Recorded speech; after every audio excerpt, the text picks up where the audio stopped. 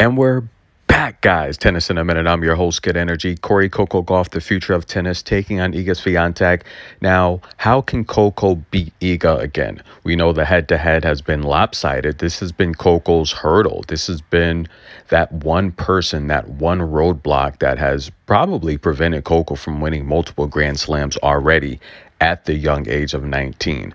But I do think Coco is the future of tennis. And how is she going to win this match? Well, listen, both of these ladies are tied with 38 wins on hard. That is the most on the tour. Two amazing talents here. Coco's got her first 50 win season, and Coco looks amazing. This is the most matches Coco has ever played in a season, and this is her best season ever. Cori Coco Gauff has been on a tear. Uh, Iga and Coco, probably the two hottest players in tennis right now. Coco's got four titles on the year, guys. She started things off at Auckland. She won DC, dominated the U.S. swing, Cincinnati, and of course the U.S.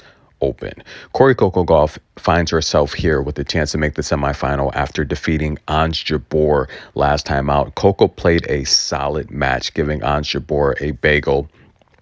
Coco had one ace. She did have three double faults. Now, if she's going to beat Iga Swiatek, she's got to reduce the double faults. I'd probably say one, one or none, right? Uh, and she's got to limit her faults. She did struggle to get her first serves in play only 45%, but the one she got in play, she won 81%. If she's going to beat Iga Swiatek, she has to serve well. And Coco's going to need to put up some aces, in my opinion. I think Coco needs five to seven aces. She's got to at least hit her average in terms of aces on the season. 81% wins on the first serve is amazing. If she hits 80 percentile, I think she beats Iga outright. Saved all of her break points. The last time Marketa had five chances to break Iga, if Coco can save all of her break points, she's guaranteed at least uh, two tie breaks. And I think Coco wins again, like we saw in Cincinnati on the tiebreak. Coco returned amazing, much better than Iga did on the first return points. She won nearly 60% of her first return points. That is amazing. What does that mean? That means Coco was very aggressive, very athletic. I saw Ons Jabeur get really, really frustrated and start to panic. Uh, Ons was really, really frustrated looking at her camp for answers, and you don't normally don't see Ons like that in my personal opinion, I think Coco can beat Iga outright. Iga had a ton of unforced errors against Marketa. She's been averaging going back to June 20 plus errors in these matches. In some matches, she had well over 30 unforced errors. Uh, the China swing, the Asian swing, Iga did control her unforced errors and she played solid, but she did not look good against Marketa. In particular, in my opinion, Iga very frustrated coming towards the net. At one point, Iga bent over and yelled.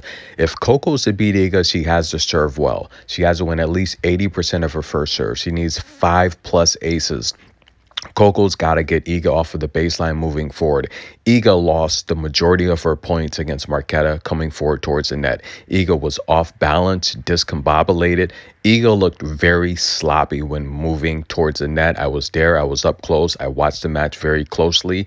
Iga's net play is not good, ladies and gentlemen. And we know she doesn't play double. She looked very bad against Marketa. Coco has amazing two-way play. She's an amazing defender.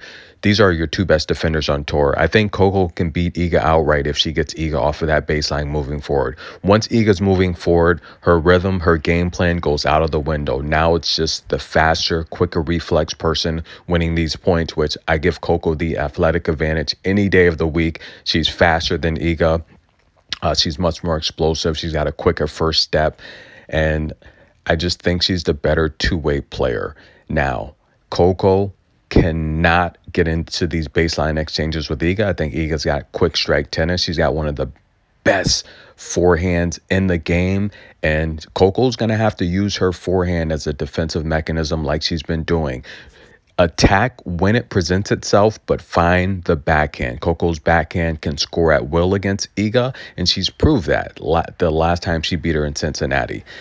This is how Coco's going to win this match, guys. She's got to serve well again, five to seven aces. She's got to win 80 plus percent of her first serves. She has to save her breakpoint opportunity. She's got to get Iga coming forward, playing vertically towards the net where Iga looks really uncomfortable and off balance. And Coco's got to find her backhand. If Coco can find her backhand, stretching Iga between the lines and then mixing in the short balls, I think Coco's got a good chance to win, but she's got to use the forehand as a defensive tool. Don't be too overly aggressive with it.